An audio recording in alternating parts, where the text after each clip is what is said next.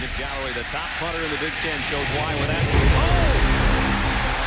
Tim Dwight didn't give him enough room, but he sure gave a head.